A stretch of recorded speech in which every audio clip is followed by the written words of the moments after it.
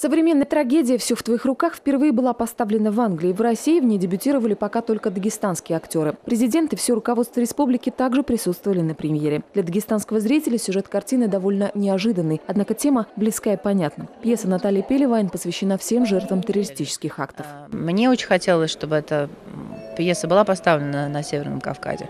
А, но кто откликнется и кто возьмется, я, естественно, не могла предполагать. И то, что вот это случилось именно в русском театре в Махачкале, я очень-очень этому рада. Захват Нордоста стал основой сценария. Действие первое открывается занавес, на сцене радужная зарисовка. Через считанные минуты все в корне меняется.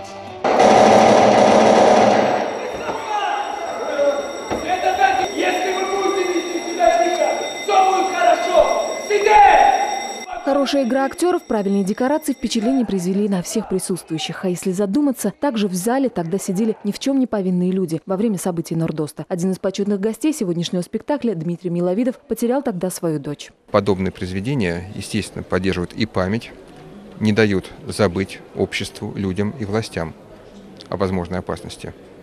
Пока власти об этом помнят, значит, идет профилактика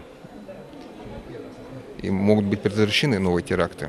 Проживая свою маленькую жизнь, в этом спектакле актеры старались донести до зрителя главную суть. Никому не нужна война, народы разных стран должны непременно дружить. Не случайно в заложниках оказываются русские, белорусы, канадец. Мы посвящаем этот спектакль э, безвинно убиенным людям в террористических актах.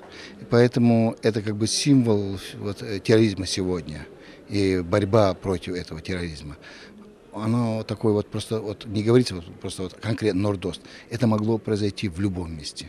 Возможно, лирические отступления, свойственные творческим людям, сделали эту постановку больше грустной, нежели жестокой. У каждого из героев своя судьба, свои радости и надежды, о которых они, не стесняясь, говорят вслух, как будто понимая, что этот раз может быть последним. Заключительная часть по сценарию «Штурм здания», а затем бурные овации благодарного зрителя и полный аншлаг.